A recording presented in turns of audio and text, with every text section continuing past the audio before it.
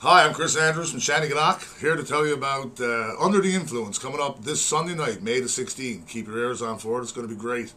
Uh, we're going to be talking about our new DVD and CD we're going to be releasing at the Rock House on May 28th and 29th of this year. And we're going to be playing some of my influences and some songs off our last CD called Volume 7.